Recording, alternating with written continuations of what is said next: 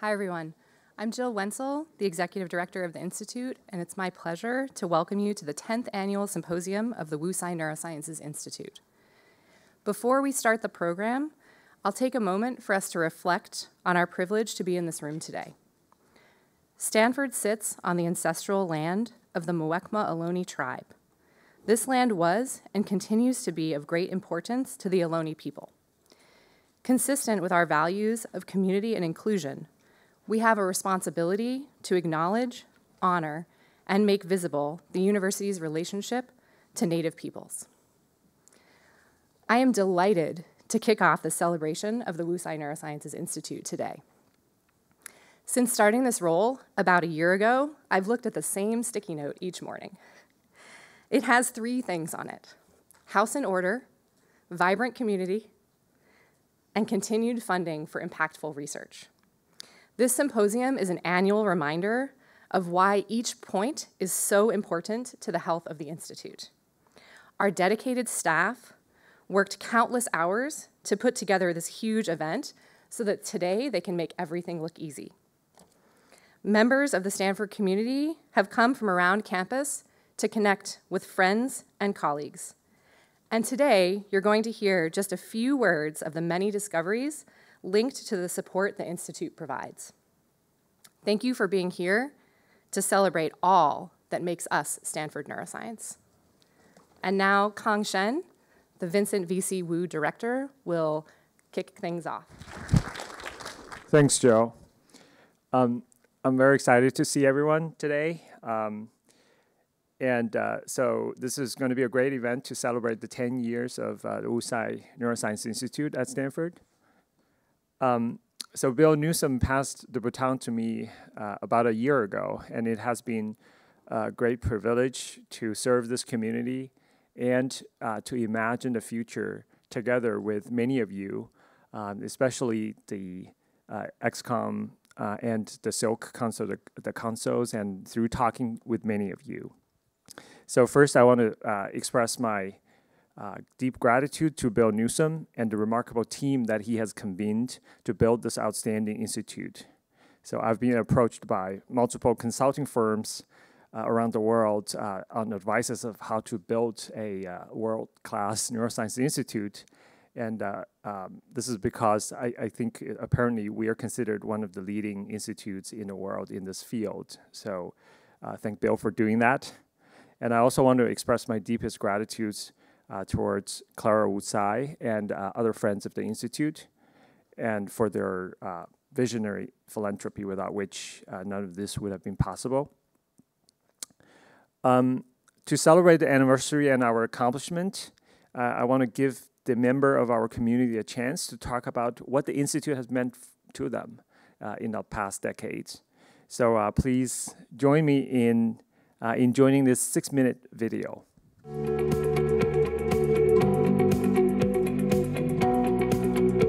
At the Wu Tsai Neuroscience Institute, our mission is to understand how the brain gives rise to mental life and behavior in health and in disease, and to apply this growing knowledge for the benefit of society. We do this by bringing together a diverse community of extraordinary scholars and trainees from across disciplines, by building a hub of innovations here at the Stanford Neuroscience Building and in our community laboratories. Our community converges from across campus at Stanford Neuroscience Building, a physical manifestation of our role as the hub of neuroscience at Stanford. Through our grant and training programs, we're seeding collaborative research, activating our communities to explore bold and transformative ideas and technologies that advances our understanding of the brain in health and disease. Early on, we launched our Big Ideas in Neuroscience project, these projects connect scholars across disciplines to tackle together questions that none could solve alone.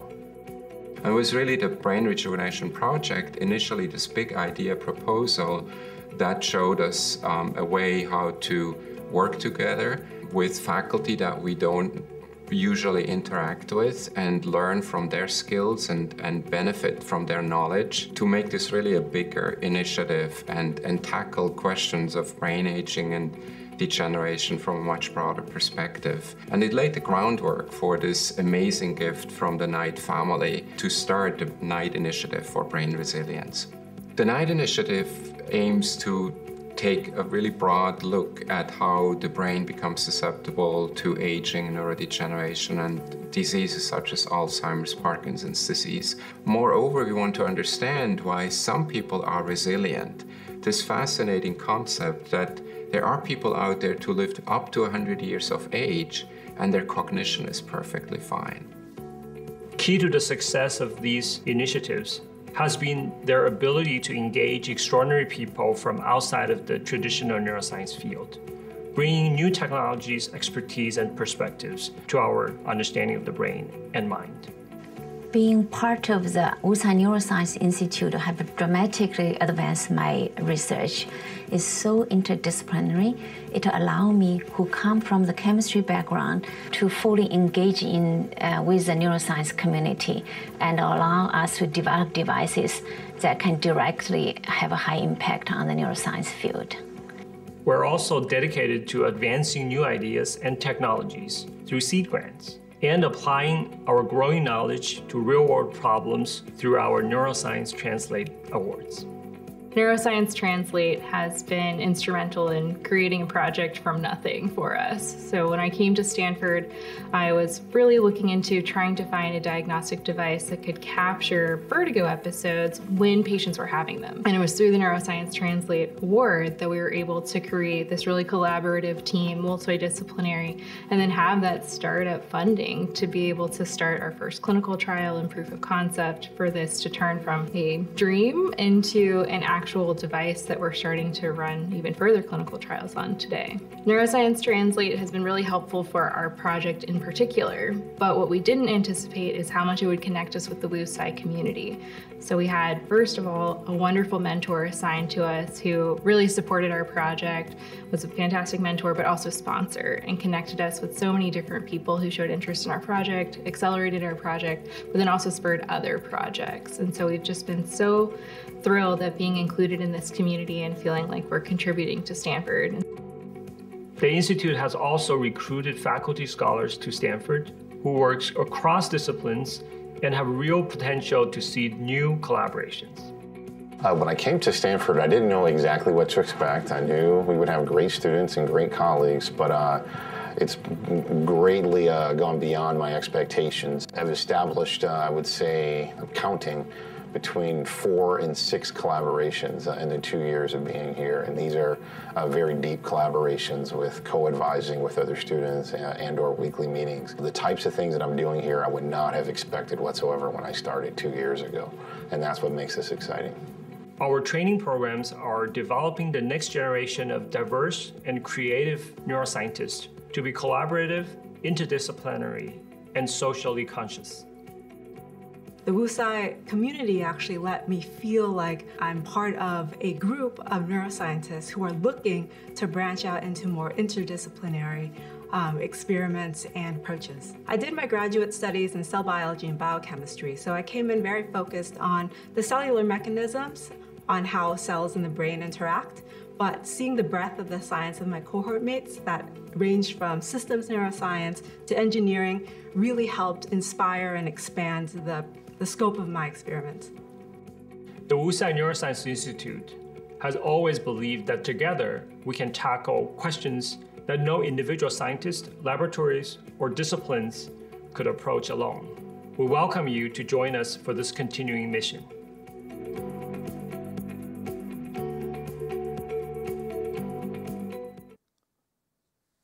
Thank you. Um, thanks, Nick, for. Where, where's Nick? Th thanks, Nick, uh, and the communication team for to uh, for putting together this wonderful video. Um, um, these are not, you know, what you've seen here is not just a promotional uh, video. It's it's backed up by data. So we have cultivated a wide-ranging uh, community focused on solving the enduring mystery of the mind, brain, and behavior. Our affiliates and trainees include more than a thousand scientists spanning all of Stanford's seven schools uh, and nearly 60% of our uh, university departments. Our flagship uh, Big Idea Neuroscience uh, initiatives build a remarkable campus-wide uh, network of collaborations between hundreds of faculties from 42 departments working together to tackle ambitious questions in brain science. Our landmark uh, Stanford Neuroscience Building has become a campus hub for cutting edge and interdisciplinary sciences. And the building is now home to 25 highly collaborative laboratories, research groups from 26 departments in the School of Engineering, the School of Humanities and Sciences, and the School of Medicine. And then uh, uh, the building is also uh, home for six out of the seven uh, community laboratories that are uh, supported by the Wu Tsai Institute. And these labs provided our community with the in-house access to world-class scientific facilities, technologies, and expertise, um, from non-invasive human stimulation, brain stimulations, to advanced microscopy and preclinical MRI. So our investment in neuroscience discovery, uh, engineering, and translational research have catalyzed hundreds of impactful discoveries and many inventions. So technologies, ideas, and approaches developed here are already advancing neuroscience worldwide. And the innovation that we have, uh, our community has made, and uh, the relationship we've built uh, laid the groundwork for, for benefit for science and the society. So as we uh, look into the second decades, I would like to ask the entire neuroscience community to join me in imagining how we can accelerate both science and its human impact uh, uh using this work. So inspired by the success of the Knight Initiative of Brain Resilience, which is seeking new insight and interventions to promote healthy brain aging, I see us pursuing equally bold research uh, initiatives to advance human health and well-being across the lifespan. Uh, by deepening our understanding of early brain development and its impact on child, children, uh, childhood brain health, as well as the conditions such as autism and schizophrenia. And by pursuing insight and interventions to support healthy brain functions in adulthood with a focus on neuroscience can enhance mental health and neurological well-being. So I look forward to engage this whole community to guide the Institute with the areas of focus and other emerging technologies that will help us to achieve our missions. So in keeping these themes, uh, we have invited um, speakers who have been deeply engaged in our community and whose work has reflected the ongoing mission uh, to share with us their most recent uh, progress and the discoveries that are made in their labs. Uh, to close this symposium, uh, we, are very fortunate to, ha to have our institute benefactor, Clara Wu Tsai, and our dear friend uh, of the Institute, Cori Bargmann, uh, about recent progress and future promises of uh, in neuroscience in the form of a fireside chat. Uh, this will happen in the afternoon. And this will be followed by a poster session and a reception uh, uh, with many of the participants here. So please stick around and enjoy the reception and the poster sessions.